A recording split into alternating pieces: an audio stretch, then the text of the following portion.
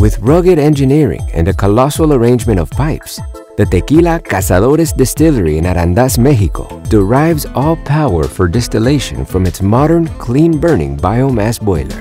Built to harness every bit of green energy it can, the plant-fueled biomass boiler reduced the distillery's greenhouse gases by more than 80%. That's the equivalent of about 6,500 tons of CO2. The immense biomass boiler conversion took 18 months to plan, 10 months to execute, and it has been operational for almost two years.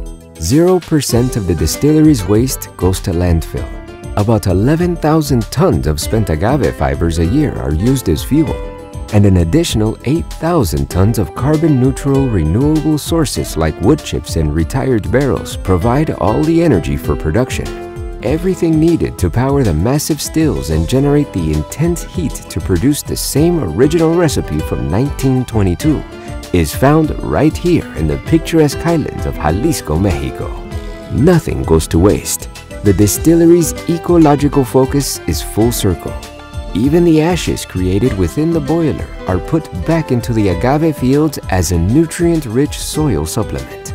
Cazadores, part of the Bacardi family of brands, has received many awards for its commitment to the environment. The distillery is a model of forward-thinking, eco-conscious ingenuity.